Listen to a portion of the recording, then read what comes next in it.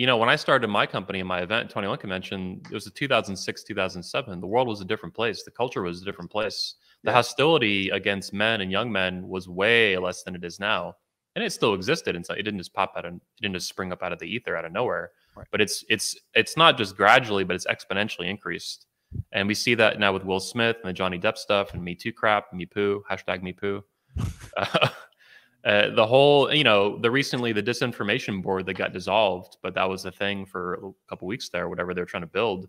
A lot of that was actually going to be targeted at misogyny, you know, mis- misogynistic ideals on the internet. Oh yeah. Want, they've been talking about that even since day one in the uh, alleged Biden administration. Like they want to mm-hmm. target. That's one of the main components to shut down misogyny.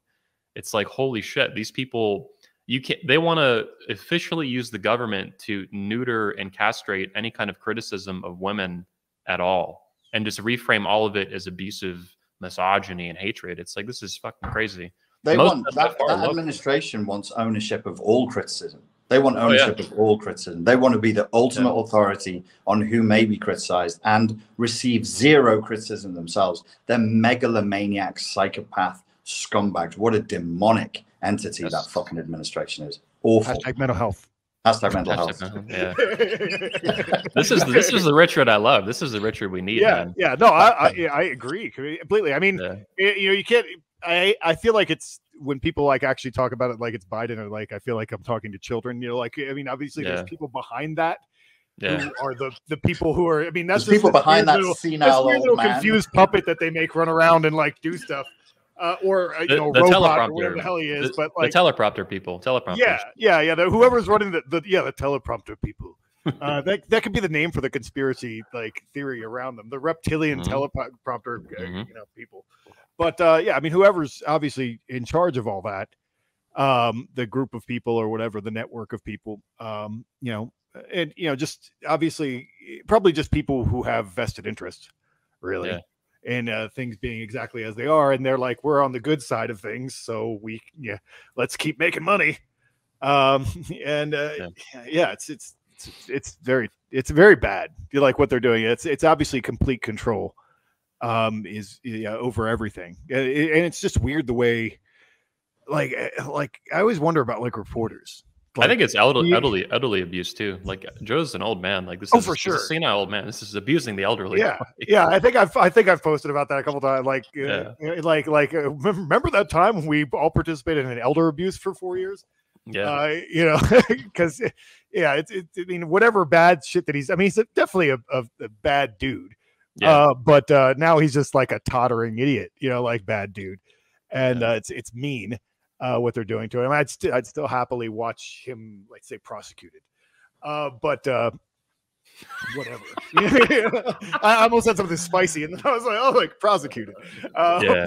But, uh, but but yeah, I mean, it's a bad situation, and and uh, I, I was saying that reporters and stuff. I'm like, like at some point when you went to school to become a reporter, you still thought that you were, you know, getting the scoop you know like you're getting the scoop like you're getting you're getting one on the man you're like un- unveiling the secret.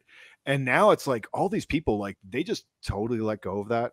They because oh, they, they, know that they're not doing that. No, they, they know that they're literally writing propaganda. It like here's what you will mm-hmm. write and here's what you're doing it and there's no reporting. It's all puff pieces. It's all like here's what you like here's the narrative. It doesn't matter mm. what you do or what whether it's true or not you're just going to write that and that's why I always say they're like worse than actual prostitutes. Instead of putting dirty dicks in their mouth, they put other you know, strangers' words in their mouths, and it's, it's mm. worse. Well, they call them uh, pre- prostitutes. I think is the name. Prostitute. Oh, oh, okay. Uh, yeah, clever. Yeah. yeah. I like that. That's good. They're putting one of Satan's multiple dongs in their throats. they really are absolutely disgraceful swallowers of the black wormsism of the devil. Um, you, you, you, said before, Anthony, that um, that, that there's a there's a hostility towards men. I think uh, towards masculinity, as I think is what you said. I think now that's escalated to a morbid hysterical terror. So if there is any sign of authentic, um, uh, unbothered, unattached expressions of masculinity found, with the few places you can find them because they're rare, the response is visceral and it's hysterical. Like yeah. this person must be stopped from what? From the doing the the man, the male, the, he's happy. Look, he's happily independent. Oh my god! And I, and I look at this and I'm like, this is what we were told drove like the Inquisition and the witch burnings was a terror of yeah. femininity, of female sexuality, of female beauty. This terror, this tyrannical, I must crush and destroy this force. It feels exactly the same. And it has that same knee jerk religious fervor where yes. people will go all the way to the end. They're not just going to attack masculinity and then go, oh, that, yeah, that's enough now. They want it gone off the face of the earth because they really, in their delusion, believe it's like an existential threat.